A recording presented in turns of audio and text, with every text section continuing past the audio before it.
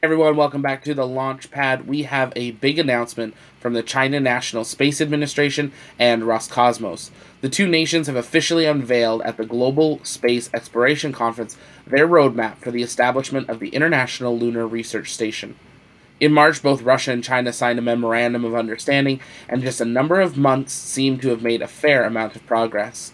The International Lunar Research Station, or ILRS for short, will be established at the same time as the United States and the Artemis Accord nations are set to return to the moon.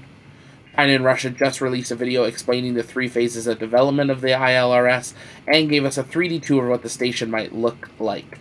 So let's take a first look at the first ever plans from any country for a permanent lunar station.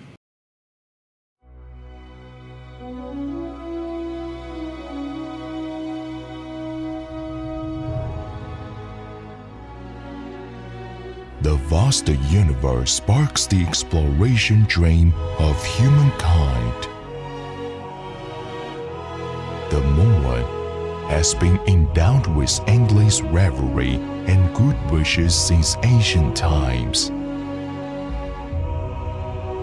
We keep on exploring on the moon for thousands of years.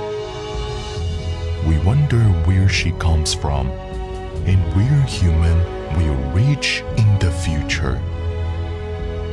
The moon is an important object for finding these ultimate answers. More than six decades ago, brave men began their exploration of the moon. This time, we come with greater courage, stronger determination, and more ambitious goals we no longer satisfied with simple visits. We are here for the long-term exploration. The International Lunar Research Station makes these visions possible. It will give us a deeper understanding of the moon and help us find the answers. The ILRS is a comprehensive scientific experimental base on the lunar surface or lunar orbit. It can realize long-term autonomous running for lunar exploration and utilization.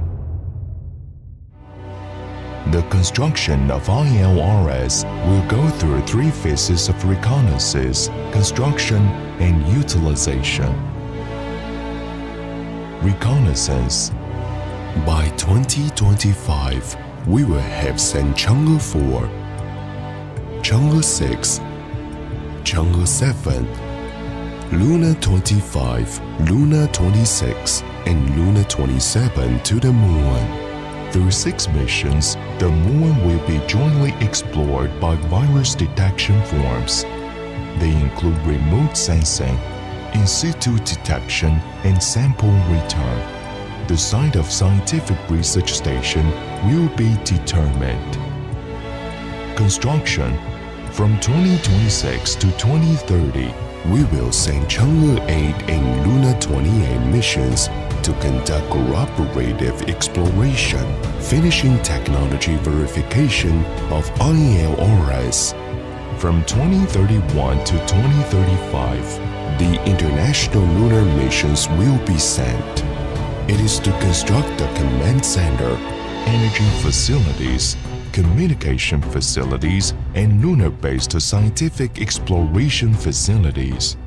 It will also verify in situ utilization of resources and other common technology in deep space exploration.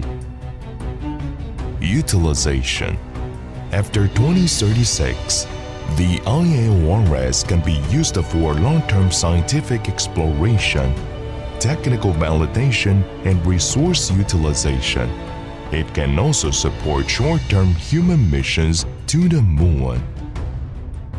Peace, development, cooperation, and mutual benefit are core concepts of ILRS and will be open to all interested countries and organizations that are willing to cooperate.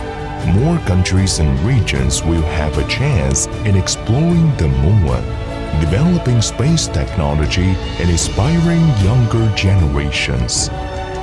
China National Space Administration and Roscosmos welcome more international partners.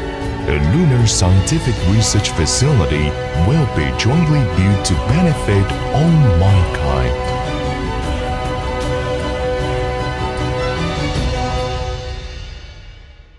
That video gave us a great look at what the station may look like, very different from what many believe the US stations will look like. The ILRS looks more like a station that crews will visit, but not always be stationed at. The location of the ILRS is yet to be decided, but as they showed in the video, they have narrowed it down to three areas, one of which is a South Pole location, similar to where the US was looking. So many were saying we're already in a space race, but with today's announcement, we are truly entering a new era in space history. We now have two space coalitions, if you will, working towards establishing bases on the moon and then having dreams to go to Mars. Artemis is looking at sending crews in 2024 prior to building their station. Russia and China are going to build their base first and then send crews about a decade later. So lots of things can change, and we will, of course, bring you all the IRLS and Artemis updates as they happen.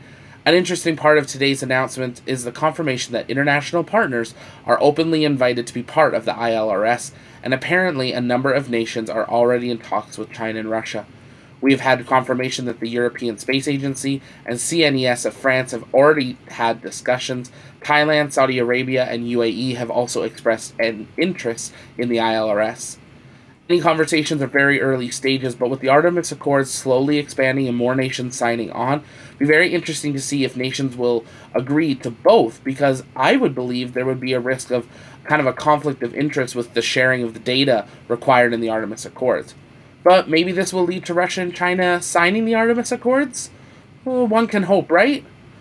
Our guide to the Artemis Accords will be coming out later this week, so make sure you've subscribed and keep an eye out for that. Let me know what you think about the IRLS in the comments. Any questions you have, the, the timeline, the location, or what it even's going to look like. This is Zach with TLP News, signing off.